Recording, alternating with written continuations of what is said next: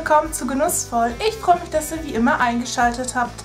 Ja, jeder, der mich kennt, der weiß, dass ich ein absoluter Frischkäse-Junkie bin. Und zwar esse ich wirklich Frischkäse für mein Leben gern, egal ob mit oder ohne Kräuter. Also ich glaube, ich esse wirklich zu 80% esse ich Frischkäse auf dem Brot. Und deswegen habe ich heute ein richtig, richtig leckeres Rezept für euch. Und zwar machen wir äh, Bressot Frischkäse selber. Das ist dieser in diesen kleinen Bechern, der so schön luftig, locker aufgeschlagen ist und dann mit richtig frischen Kräutern. Und genau den machen wir heute, denn den kann man super einfach selber machen. Und ich würde sagen, wir starten auch wie immer mit den Zutaten.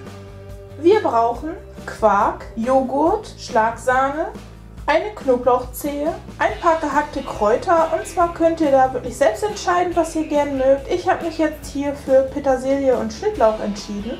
Und zum Schluss brauchen wir noch Salz und Pfeffer.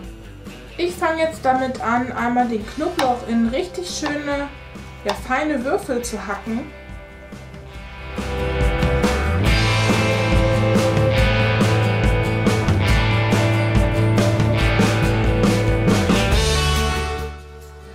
Und zwar sollte der Knoblauch wirklich am Ende so aussehen, also richtig schön fein gehackt.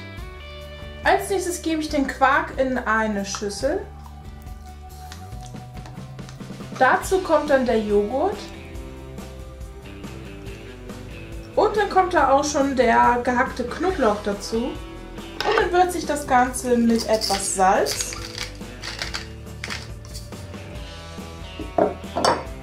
Und Pfeffer. Dann werde ich das Ganze miteinander verrühren.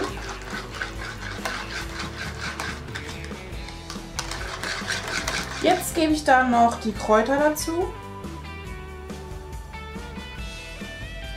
Und die werde ich dann ebenfalls kurz unter die Masse rühren. Die Quark-Joghurt-Masse könnt ihr jetzt kurz beiseite stellen, denn jetzt werden wir erstmal die Sahne steif schlagen und dazu gebe ich sie wie immer in ein hohes, schmales Gefäß. Und zur Sahne gebe ich eine Prise Salz. Und dann wird sie einfach mit dem Handrührgerät richtig schön steif geschlagen.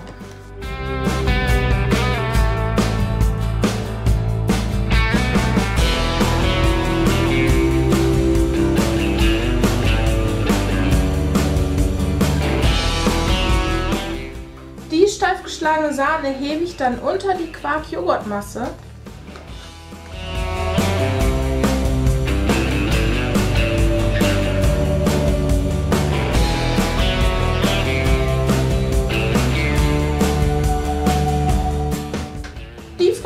Frischkäsemasse ist jetzt soweit fertig und ich habe mir jetzt hier einmal so ein kleines Sieb über eine Schüssel gehangen und in das kleine Sieb habe ich einfach so ein bisschen, ähm, ja, so ein bisschen Küchenpapier reingelegt und hier hinein fülle ich jetzt die Frischkäsemasse.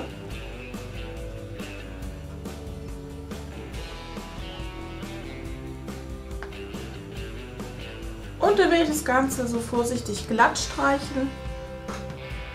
Ich decke das Ganze jetzt noch mit etwas Frischhaltefolie ab.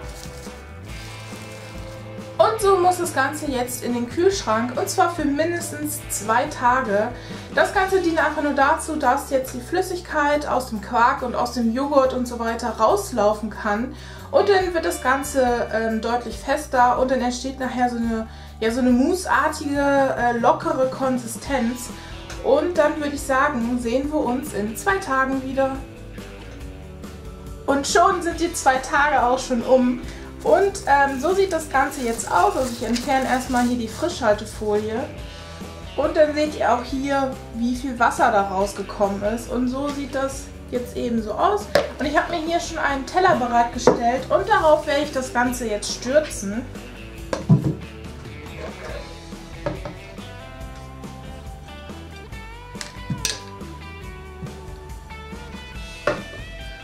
Und dann werde ich vorsichtig das ähm, Küchenpapier abziehen.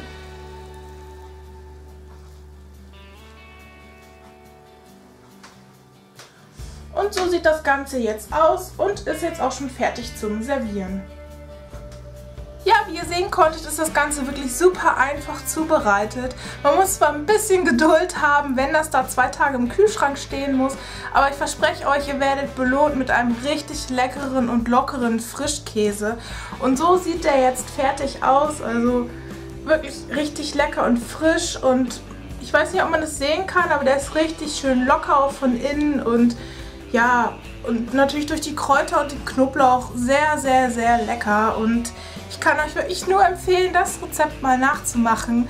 Und wenn ihr das getan habt, dann äh, schreibt mir gerne Feedback, wie es euch geschmeckt hat und so weiter. Äh, einfach unten in die Kommentare rein oder schickt mir auch gerne ein Foto davon auf Facebook.